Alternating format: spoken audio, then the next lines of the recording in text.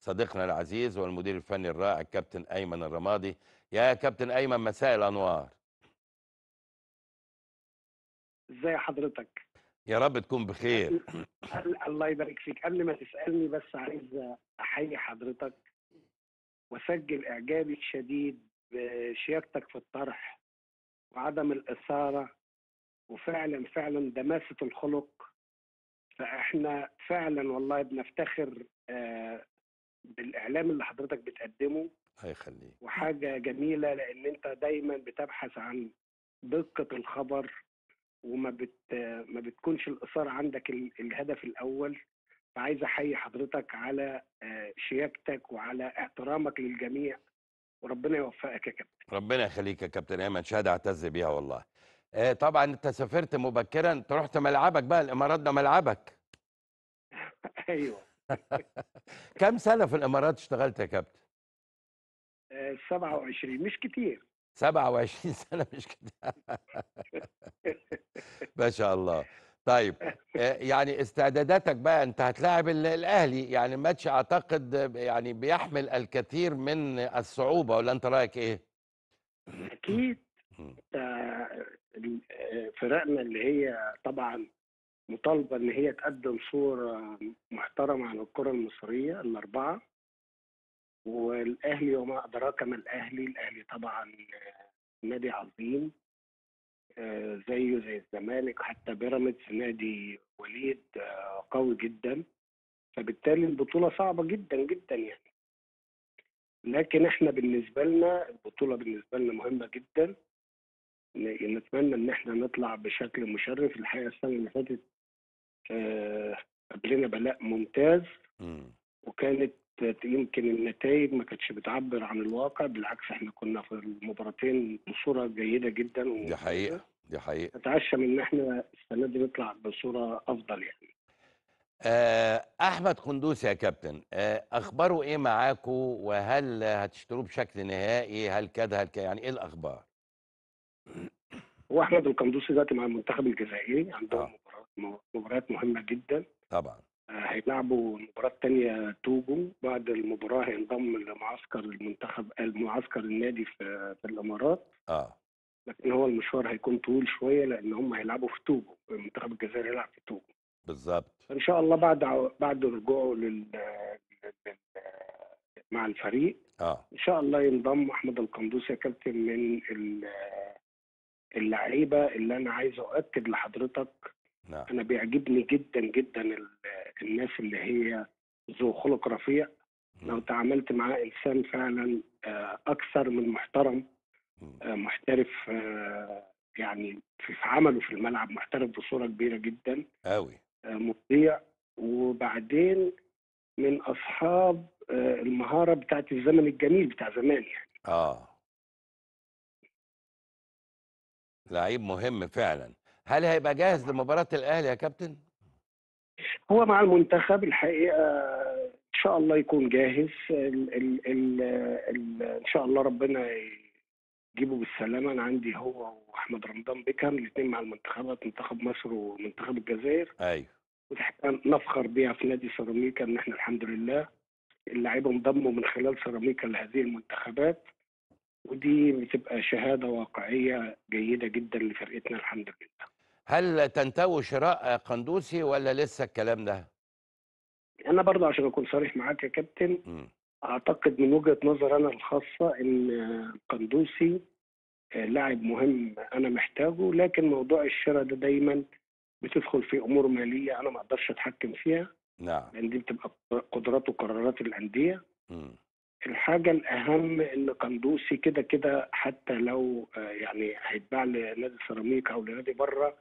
فهو موسمه ممتد مع سيراميكا لنهاية 2025 وبالتالي بالظبط. أعتقد أعتقد أعتقد آه، واقعيا مم. المفترض إن سيراميكا هو الأقرب يعني لأن ما فيش نادي النهارده هياخد لاعب يشتري لاعب وبعدين يلعب سنة وبعدين أبقى اجيلك يعني فالأندية ممكن شوية تبقى الأمور بالنسبة لها صعبة. ممكن لا قدر الله يقول لك هبوط مستوى لا قدر الله إصابة. فأعتقد إن إحنا أعتقد سيراميكا أعتقد الاقرب يعني. بيكهام واقعيا يعني. آه. بيكهام يا كابتن هل هتدوه للزمالك ولا برضه لسه في كلام؟ الموضوع ده كابتن والله فعلا بدون مبالغة خد أكبر من حجمه بصورة كبيرة جدا جدا. الموضوع لا يتعدى إلا إن علاقتنا مع الأندية آه، بشياكه مطلقه. الأهلي السنة اللي فاتت طلب بيكهام اعتذرنا لهم لأن إحنا مش هنعرف يعني في حاجة ليه الزمالك برضو السنة دي طلب بيكهام اعتذرنا لهم. فالأمر مش عشان خاطر آه، إحنا بالعكس الأندية دي آه، يعني أندية آه، بتشرف الكرة المصرية. وإحنا المفروض كلنا سعيده لكن إحنا طالما في حاجة للاعب الموضوع تقريبا ما خدش ما خدش الكلام يمكن أكتر من آه، مكالمة تليفون إن إحنا والله في حاجة لبيكهام فالمسؤولين تفهموا الموضوع ده. لكن الموضوع خد أكبر من حجمه في ال social media وطلع بقى ده بيكهام بيضغط على سيراميكا. بيكهام بالعكس بيكهام عارف كويس جدا إن هو في شهر واحد الماضي جدد ثلاث سنين أخرى مع نادي سيراميكا وهو عنده سنة يبقى أربع سنين. مم. فبالتالي هو إحنا محتاجينه. نعم. فصعب إن إحنا نفرط فيه. الموضوع ما بيدخلش فيه موضوع أهلي وزمالك. الموضوع هو موضوع مصلحة سيراميكا ان بيكهام يستمر معاها في التوقيت الحالي. نعم. وخصوصا إن إحنا تخلينا على عدد كبير من اللعيبة آخرهم كان صديق. الحمد لله يعني عوضنا ببعض اللعيبة. لكن آه، في نفس الوقت إحنا في مراكز ما نقدرش نستغنى عنها زي مركز حراسة المرمى زي مركز المدافعين لأن العدد فيه عندنا قليل. آه بالظبط. طب عمرو قلاء بقى قلاء ولاعب الوسط راح الزمالك خلاص يا كابتن؟ لا ولا الكلام ده فيه ليه أساس من الصحة. أنا ما أعتقدش إن حتى نادي الزمالك عندهم خبر بالموضوع ده أو يعني أنا سمعت كمان برضو على السوشيال ميديا. مم. عشان كده أنا في المقدمة قلت لحضرتك إيه مم. أنا يعني يعني أحترم جدا جدا يعني فعلا شخصية حضرتك في الإعلام إن أنت دايما بتتحرى الدقة. نعم. لأن الكلام اللي بيتقال كلام أكبر من الحقيقة وبيشوشر على اللعيبة وبيخلي الموضوع مع عمرو قلاوة برضو عنده أربع سنين في عقده. والموضوع ما اتفتحش أصلا. فأنا مستغرب إن الكلام يعني بيدار بهذا الشكل. ورغم إن هو إحنا في النادي بنستغرب بنقول يعني الأخبار دي جاية منين يعني؟ آه آه. ما أحيانا ال social media بتروج.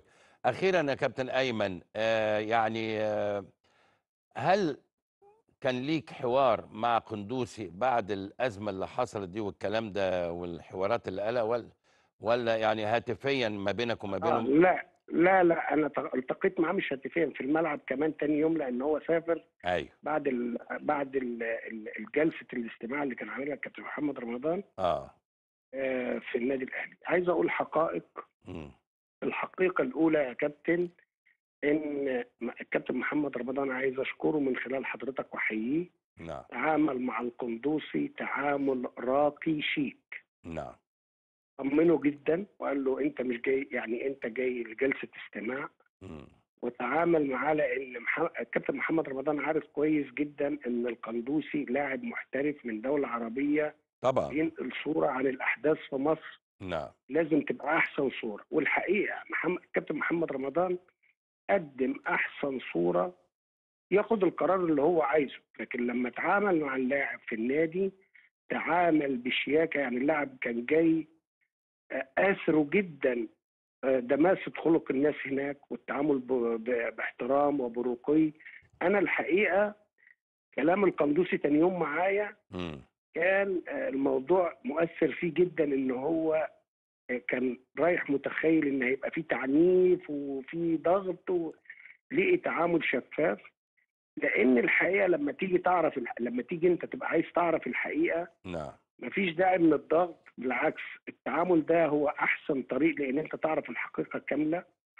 وبعدين القرار كمان اللي خده كابتن محمد رمضان أو اللي خده النادي الأهلي قرار فيه عدل كبير جدا.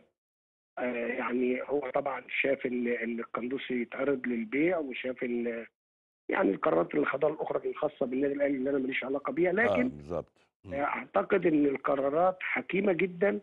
لكن أكتر حاجة أنا عايز أشكر فيها ال- الحاجات دي بتعلم دروس كبيرة جدا. هي التعامل مع اللاعب بعد أحداث ممكن تكون سخنت على الفاضي يعني. آه بالظبط بالظبط. تمام. كابتن أيمن بشكرك على المداخلة اللطيفة دي وأتمنى لك كل توفيق.